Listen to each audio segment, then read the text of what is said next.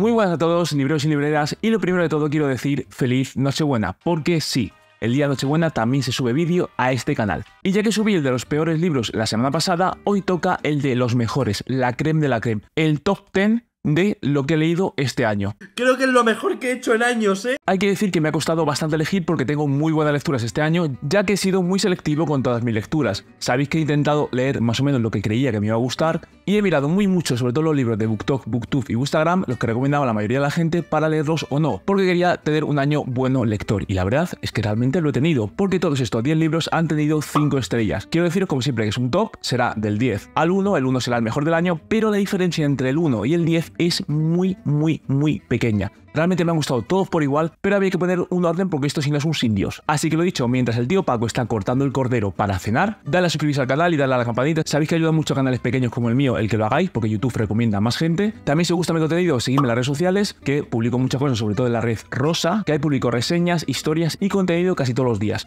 Ok, polilla.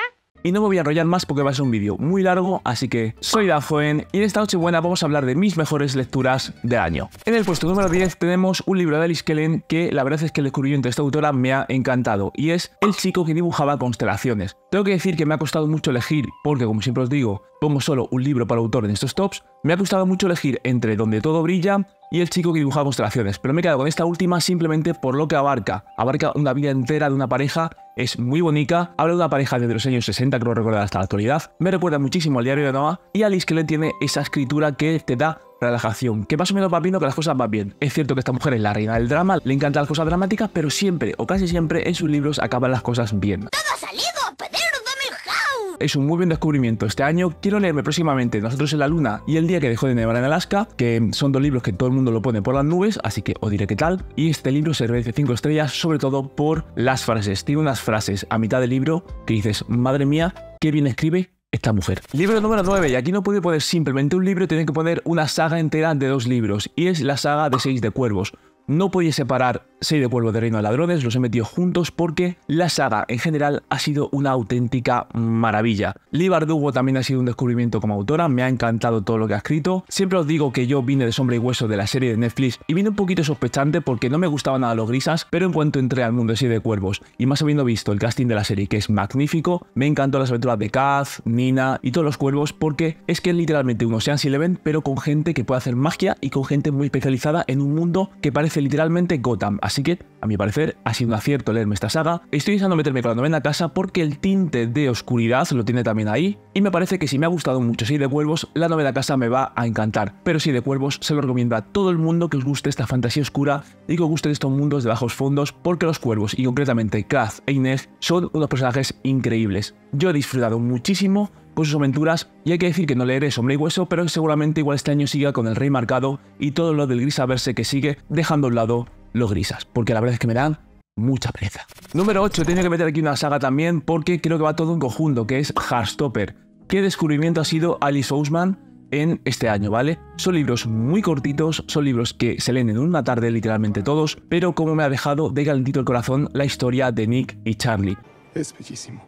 Me ha encantado, todo el mundo me lo recomendó a mansalva cuando creé el canal de YouTube, diciendo, Dan, tienes que leerte esto, te va a encantar, es un romance muy real. Y tenían razón, realmente tenía razón porque es un romance que puede ser de a pie. No hay grandes hazañas épicas, no hay grandes giros para salvar el mundo, simplemente son dos personas que se enamoran y tienen los problemas reales de la gente de instituto. ¿Qué? Por lo tanto, me gustó mucho ver esa historia tan mundana. Hay que decir que amé cada parte del libro, trata problemas muy reales, trata problemas muy serios y creo que es una buena plataforma para que la gente que tenga estos problemas como por ejemplo, el bullying que tienes en el instituto, los problemas con la comida, el no saber quién eres realmente de tu adolescencia, qué identidad tienes y descubrirla poco a poco. Creo que son unos libros muy buenos y lo malo es lo que digo siempre. Me leí el cuarto, digo ya está, ya termina la historia, hasta que salga el quinto va a pasar la leche y ha salido el quinto hace nada, así que me tocará volver a meterme en esta historia, que yo estoy encantado. Libro número 7, Una corte de alas y ruina. Y aquí sé que todo el fan de Acotar me dirá, deshonra sobre tu vaca, el mejor es el segundo, no el tercero. ¡Eso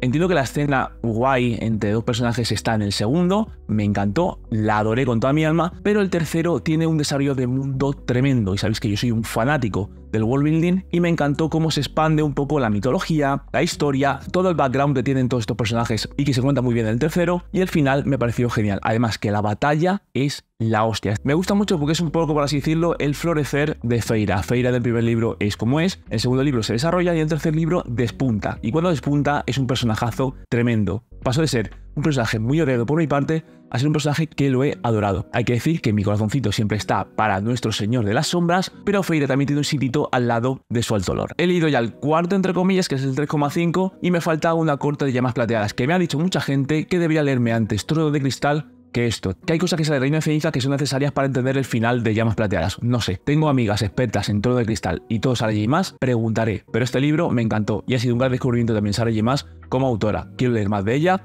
y cierto que te lo resumen como escenas de cama subidas de tono de hadas y un lore muchísimo más profundo de lo que te cuenta mucha gente, porque si reducimos al absurdo cualquier libro, Sanders sería gente que chupa metales y se pone a pegarse tirando monedas. ¿Qué?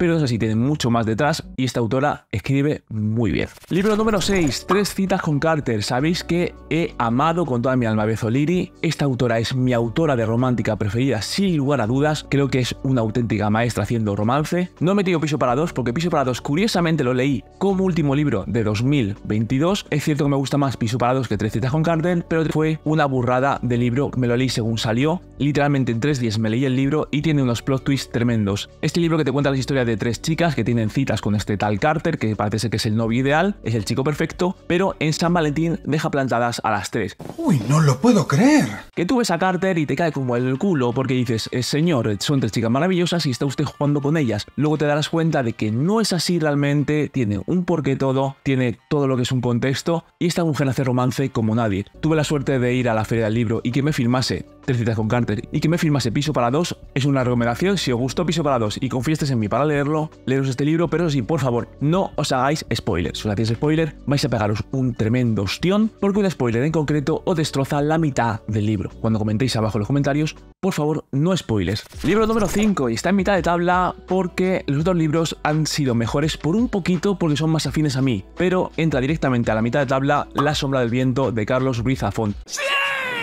Nunca me cansaré de recomendar este libro. Es cierto que había oído hablar de él muchos años, mucha gente lo ha leído, yo me lo leí este año y fue una jodida delicia. Qué manera de escribir tiene Zafón. Actualmente me estoy escuchando El Juego del Ángel, el audiolibro, el segundo libro de la saga. Me está encantando. Es un deleite el ver cómo escribe este hombre y aparte, en la narración, me está narrando el libro el actor de doblaje de La Roca, por lo tanto, mejor voz no podía haber. Me encantó ese libro, esta historia de este cementerio de los libros olvidados, donde Daniel, un joven hijo de un librero, va por un libro, lo coge, y su misión es salvaguardarlo por siempre. Ese libro traerá ciertas consecuencias. Empieza siendo una historia de voy a llevar a mi hijo a por un libro para que lo atesore para toda la vida, a una trama muy enrevesada, que está muy bien hilada y que te mete en lo más oscuro de esta Barcelona de los años 40, creo que es 40, 45, 50. Creo que todo el mundo que escriba debería leerlo porque es una oda a la escritura. No es una escritura pedante, no es una escritura rimbombante como pueden ser otros autores de más edad. Zafón tiene una escritura pulcra, clara y sobre todo muy bonita. No puedo dejar de recomendarlo. La sombra del viento es un libro muy, muy bueno. Y del puesto número 5 al puesto número 4, que por un poquitito fue mejor que La sombra del viento, al menos para mí. Y fue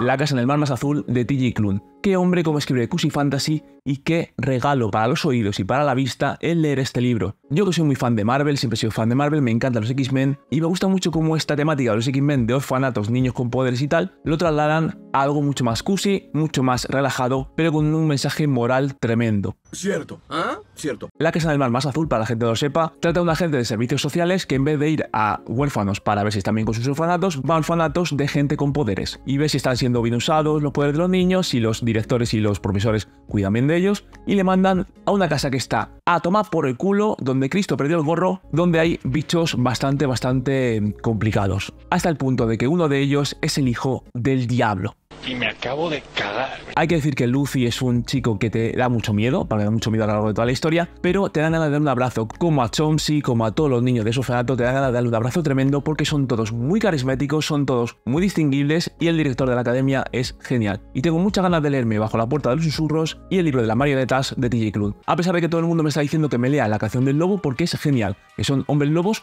gays. Así que estoy muy dentro. Creo que terminaré primero todos los autoconclusivos y luego miré a esta saga de cuatro libros que la gente dice que te acaba destrozando por dentro. Así que, qué mejor que un buen destrozo emocional para empezar el año. Libro número 3, y lo he mencionado muchas veces en estos últimos vídeos, pero es que no puedo dejar de mencionarlo, y es Alas de Sangre.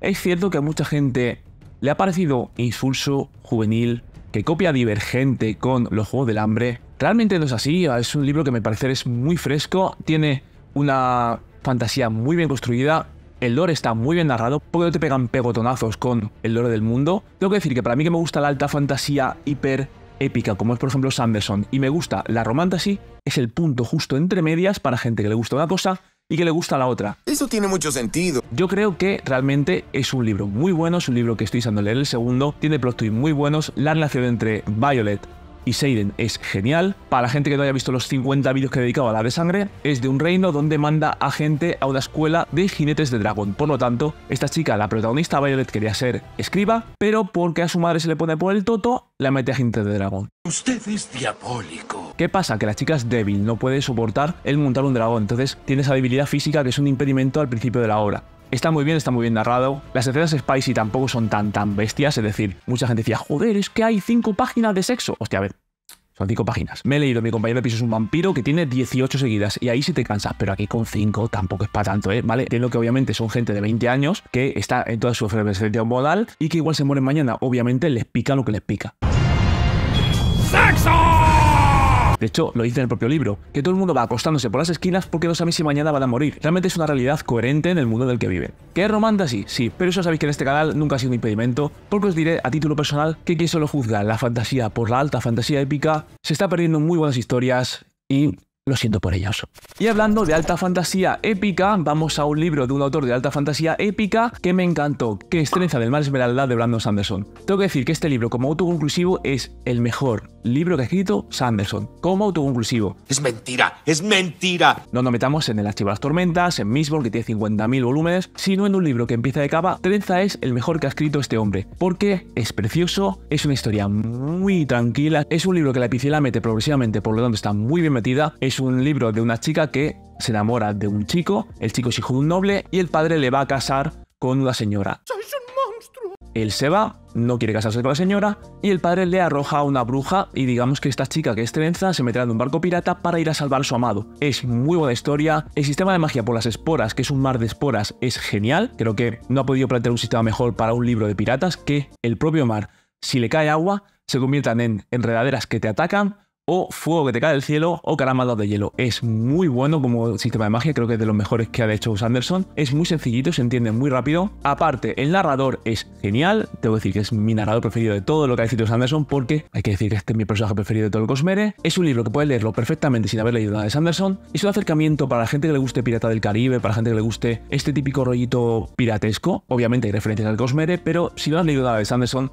te va a dar igual. Yo hice ya la guía del que lo dejo por aquí, pero una de las entradas que os recomiendo es Trenza. Ha sido un libro casi casi perfecto. El único fallo que le pongo es que no haya anunciado segunda parte, porque ese mundo es genial. Y el puesto número uno, la medalla de oro de estos mejores libros del 2023, es para...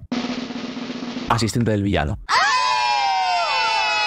creo que es el libro que más me ha calado este año. Es un libro que es muy mi mierda, tiene su humor ácido a los siete vidas, para la gente que está de España y ha visto esta serie, tiene mucha sátira, tiene mucha ironía, Evie es una protagonista genial, Tristan también, simplemente con una cosa muy mundana que es, hola, hay un villano en mi aldea, voy a hacerme su ayudante. Con esto te monta una historia genial. A diferencia de otros libros de Roncom, por así decirlo, no desvirtúa mucho la historia, sino que aparte de la comedia y el romance, tiene una historia muy buena detrás que se va contando poquito a poco a fuego lento. Tienes el punto de vista del chico, que también gusta mucho, porque en estos típicos libros de romance y comedia, solo tienes el punto de vista de la chica, aquí tienes el punto de vista de Evie y tienes el punto de vista de Tristan. Por lo tanto, mola mucho el ver lo que una piensa del otro y lo que el otro piensa de la una. Es destellante, tiene cosas muy bizarras, tiene cosas muy locas y la historia no se desvirtúa en ningún momento. Y deja un cliffhanger tremendo para el segundo libro que creo que lo tenemos a principio del año que viene. Así que estoy love con que esta saga siga. De hecho, me lo escuché en audiolibro y quiero pillarlo en físico para que si viene algún día la autora alguna expo, me lo firme, porque me ha parecido el punto perfecto entre comedia, romance, sátira, ironía y epicidad. Y bueno, libreros y libreras, hasta aquí los mejores libros de 2023. Hay que decir que estoy encantado de haber pasado ya un año con vosotros en Booktube. Si estáis viendo esto antes de cenar, os vuelvo a decir feliz Navidad adelantada. El jueves haré otro vídeo y en Nochevieja tendréis antes de las uvas mi tier list completa con todos los libros que he leído este año y un poquito comentando cada uno de ellos. Así que se viene un fin de año muy importante para el canal. Espero que os haya gustado mucho el vídeo, dadle un like tremendo y nos vemos en el siguiente vídeo en vuestra librería de confianza.